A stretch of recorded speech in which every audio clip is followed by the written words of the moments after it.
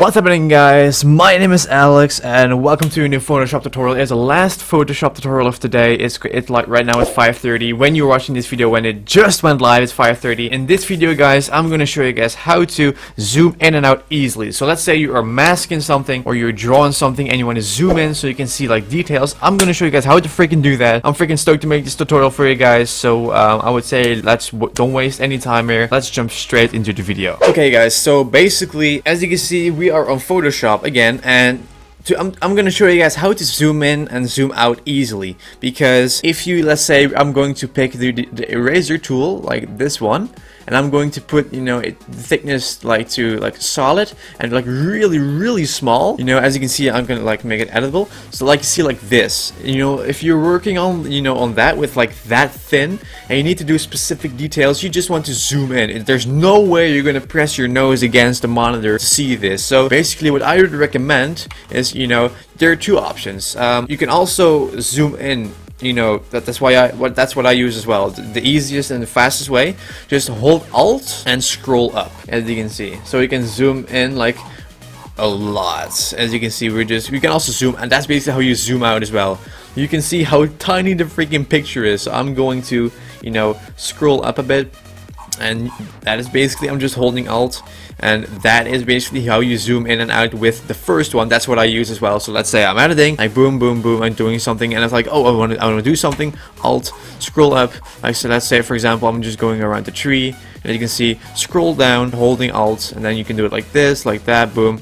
And I was like see like let's see how it looks. Scroll down that looks great. Scroll back up you know as you can see like holding alt and then scroll back up again. And that's basically how you can do it. That's how you you know scroll back and forth. By just holding alt not Alt GR, just Alt at the left of your keyboard, right next to your window key. That is basically how I, that's the first method. So the second method is also really easy. So you want to go to this little loop icon, boom. And what that does is you can click on it and it zooms in as you can see. And you can also like right click, zoom out, right click, zoom out, right click, zoom out, right click. Two thousand years later. So that is basically how you can zoom in like on both methods. It's really freaking simple. You can use the loop as you can see at the left or you can just you know press like a random icon, hold alt and you can you know scroll up and down and that is basically how simple it is guys. That is how you zoom in. There are a lot, are a lot of methods you know that can that you can do but I think it's easier if you're like say you're editing